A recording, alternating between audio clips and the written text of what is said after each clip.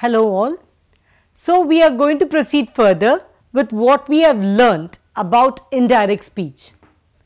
So, till now that we have learnt various ways how would we convert it and what are the changes that are required to be done from, from direct to indirect. What are the points that we need to take care of? What are various tenses changes that we need to take care of? Pronouns, noun, pronoun that we would be taking care of, changes, adverb, adverbial changes, even this that we would be taking care of and further now when we are talking about, let us understand this point to change questions. We were dealing with the questions, with the questions in direct speech, in direct speech the questions that we get and how do we handle them during the indirect part. So, we have already understood few questions, now we would be proceeding further.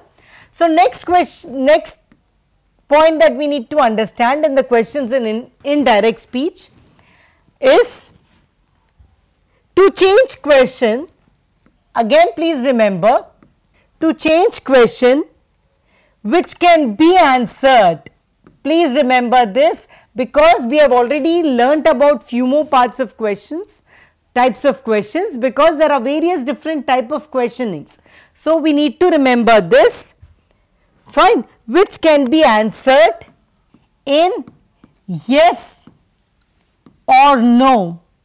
Fine. This is main thing that we need to remember. The questions which can be answered only in yes or no we need not have bigger sentences for it. So, such questions when we are talking about okay or well will will say into indirect. So, as I said there are various type of questions, various different ways of questioning and those questions which can be answered in just yes or no, nothing much in this. Fine, such type of questions in indirect speech that we are talking, fine, indirect speech, such type of questions in direct speech, word if whether Please remember the word whether. If this is used before the question in indirect, in indirect speech what will do? See what point that we need to understand is if it is a yes no question fine indirect speech. In direct speech if the question is such whose answer is going to be in yes or no. The word whether is used before the question in indirect. So, when you are going to start the question in indirect when we go it would be starting with whether. I will give you the example of it. And again that you need to take care of is rules for change. Again you need to take care. The next point is rules for the change in tense of question sentence of question sentence are same as for for change in normal tenses. In normal tenses in indirect in indirect speech fine. But sentence will not start with the auxiliary verb with the auxiliary verb of the tense. And for this the word that, please remember this for this point the word that is not used between reporting verb and reported speech as conjunction in indirect speech for question sentence and even the question mark is not used is not used in indirect speech. Please remember this very important points that we would take care of. Fine, the first thing that we are taking care of is for the yes, no, fine, in, in the direct speech, word whether is used before the question in indirect speech. Fine, Please remember this first point. Then rules for the change in tense, in tense of question sentence as same as for the change in normal tenses. Remaining changes would not happen. So, again we need not worry. The rules for the change in tenses remains the same. Fine. For the as in normal tenses for indirect. So, need not worry about that point. Next is speech fine but yes the normally it would not but again sentence will not start with the auxiliary verb of the tense fine the word that is not used this again we would take care this because every time the word that is used we know that that every time every sentence that we are forming from direct to indirect that is used, but in such cases that is not used between the supporting verb and reported speech. Be be between the reported reporting verb and reported speech we will not use the word that as a conjunction because we are using the word that as a conjunction and it would not be used in indirect speech of the question sentence. And again one very important point that we would take care of is question mark is not used in indirect speech. Please, please remember this. Fine. In such cases, let me give you example for better understanding. Fine, let us go with the example. Fine. She said, will he participate in the quiz competition. So, how would we convert? As the points given, what would we remember? She said, will he participate in the quiz competition?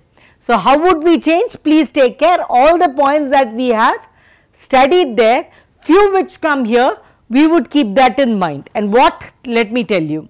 She asked, fine, like even a earlier we studied said would become asked fine said would become asked so she asked me fine who was asked I was asked so she asked me if he would participate in the quiz competition.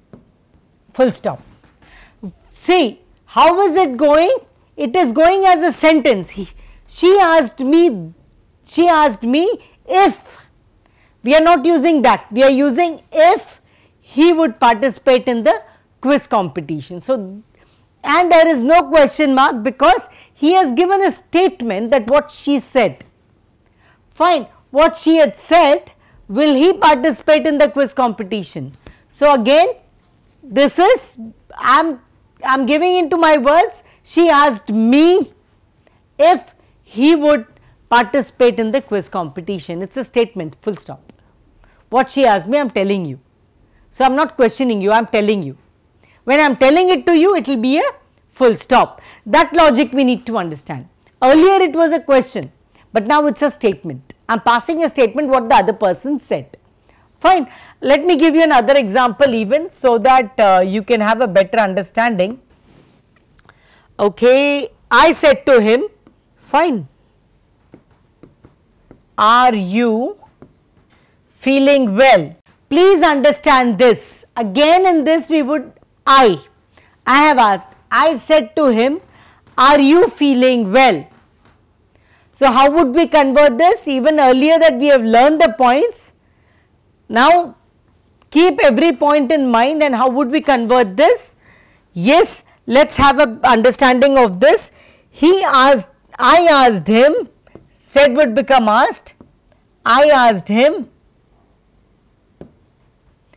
if fine he was feeling well full stop.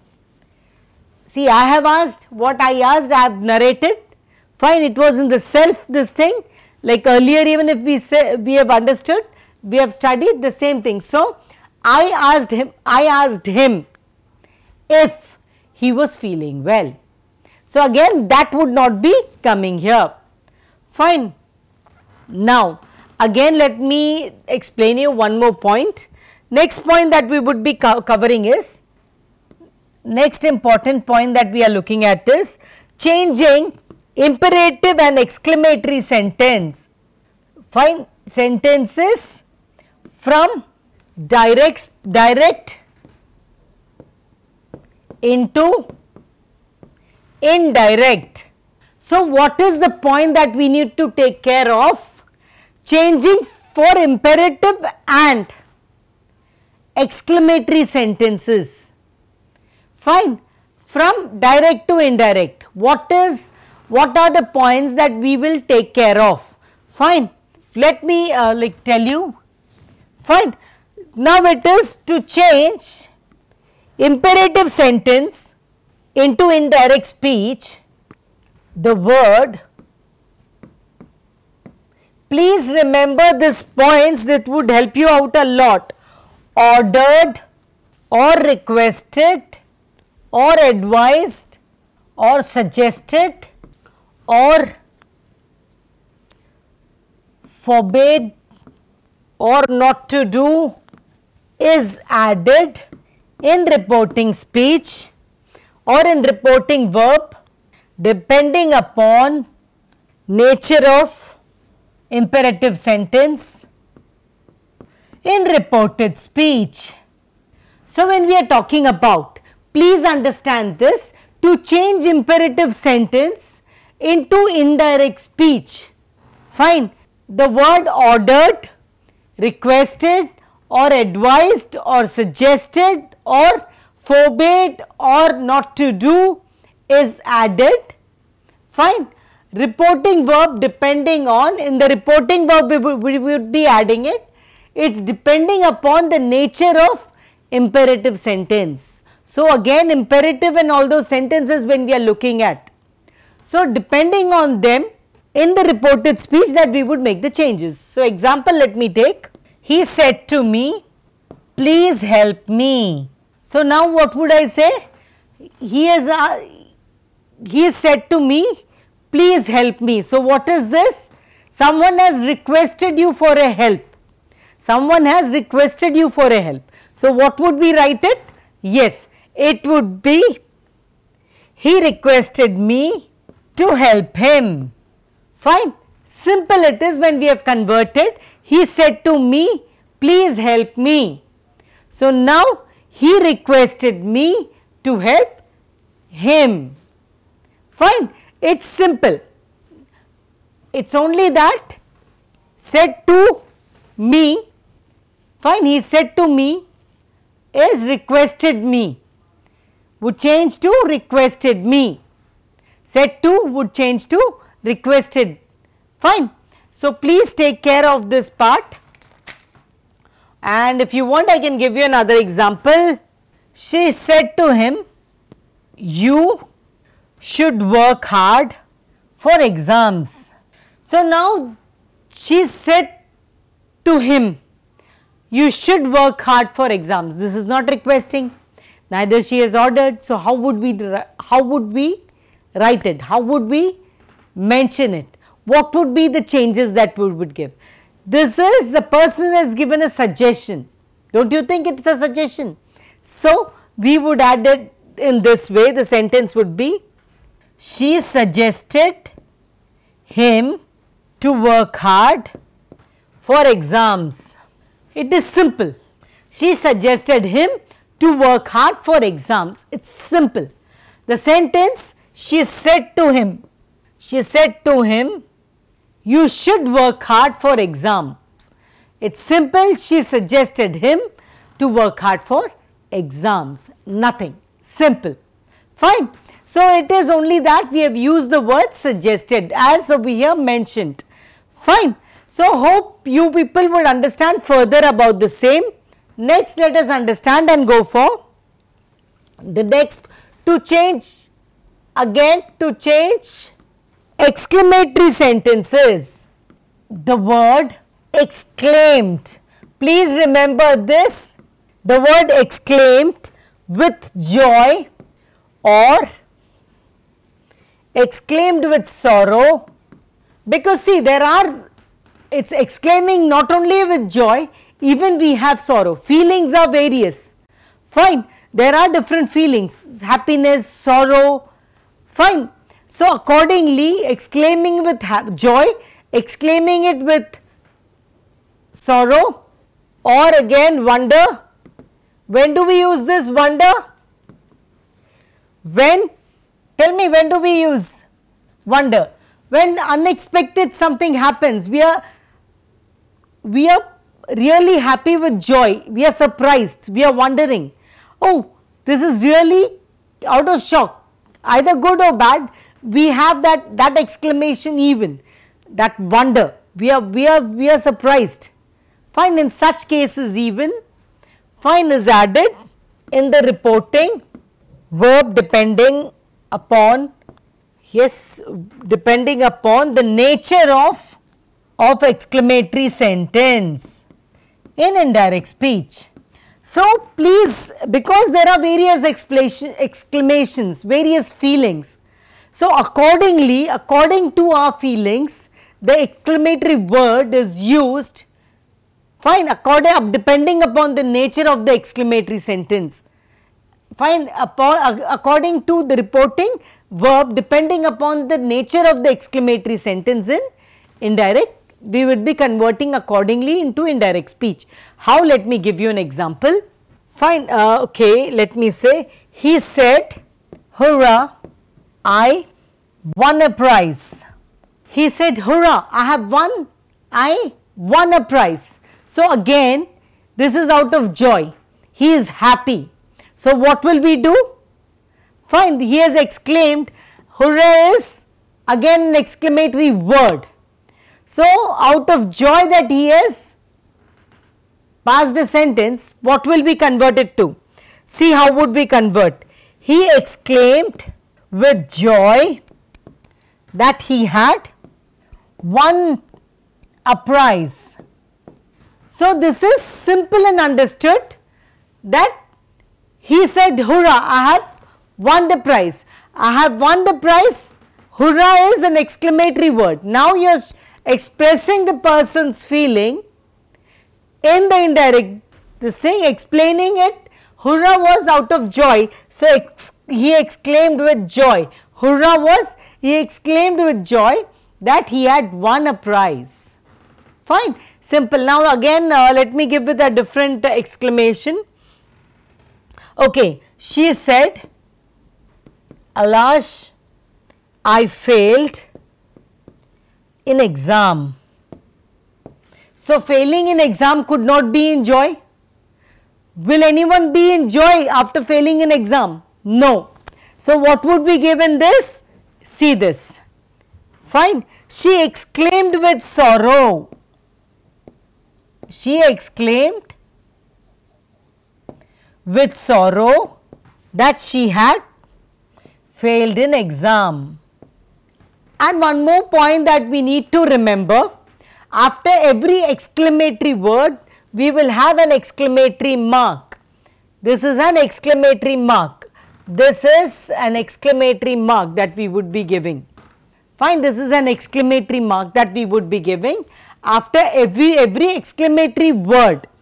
Fine, and after it is converted to indirect, we need not give the exclamatory mark.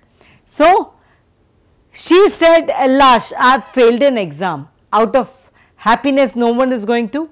So, eh, Alas is a sad expression.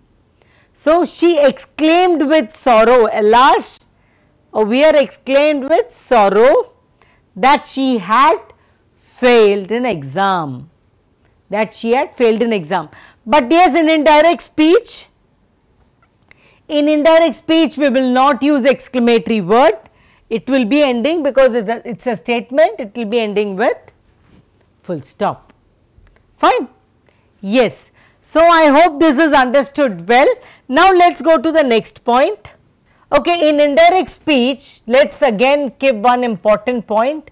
In indirect speech for sentences having modals, what is having modals? please understand it. In this case what are we going to do in this case what we will do is indirect speech for sentences having modals. Modals like we have already learnt about modal verbs, modals like let me give it can, may, must, shall, etc. shall be changed. Okay, this are changed to we already know about this. Let us uh, understand it. Change to could might had to should respectively. For indirect speech sentences having modals like can will fine may must shall etc that we are working on to. Those are changed to could might had to should would and all those things fine respectively accordingly it is changed if it is can it will be changing to could and all those fine so accordingly so let us take an example he said I can drive a car. He said I can drive a car. So, now how would we do it? It is can. So, how would we convert it? See this. He said that he could drive a car. So, instead of can it became could. So, he said I, I can drive a car. Now, in indirect it becomes he said that he could drive a car. So, can is converted to could. Now, next when we are looking at example, let me give you one more example. Okay, he said, I may buy a computer. So, how would we explain this? He said, I may buy a computer. So, now how would we convert this? He said that he might, may might, he might buy a computer. So, it is simple. Fine. Please understand this small things. Fine conjunctions when we were speaking in. Fine. In this conjunctions can, may, those will be how it would be converted, the modals. Fine. The modals. the modals when we are talking about the sentences having those modals can, may, must, shall, will, how would we convert them? Fine, so that we need to take care of. When it is from direct to indirect, fine, those modals that we would be converting, how would they be converted? Fine, this is the last point for from for indirect speech from direct to indirect this is the last point that we need to take care of. After that we are well versed with the direct and indirect speech. We are well prepared and we have a complete knowledge that how would we make the changes. So, now the last point but most important again. So, please give it a proper concentration. However, these modals, these modals that we have already uh, read about in the last point if used in direct speech do not change indirect speech. Like if already instead of will would is used first itself then it would not. Uh, let me give you an example make you understand better so we can talk on this further. They said we would apply for a visa. See would is already used in would is already used in direct speech. So, we cannot make the changes of that would in indirect speech. So, how would we take care? Now, when it is converted it would be they said that they would apply for visa. See when would is already used it cannot be changed to will. It would remain the same would. So again would remains the same. Remaining rules we know and accordingly it is worked on. Fine. They said we would apply for visa. They said that we converted to they. would apply for visa. Let me give you one more example. She said she could play via piano. So, again we would proceed further is she said that she could play a piano. Same thing it remains the same could could that we are covering the point right now. Fine other thing remaining changes we know how we are going to make it and accordingly it is done. So, I hope now all our points for direct indirect speech are clear and now we are very well versed with how would we be proceeding further. So, have a happy learning. Thank you.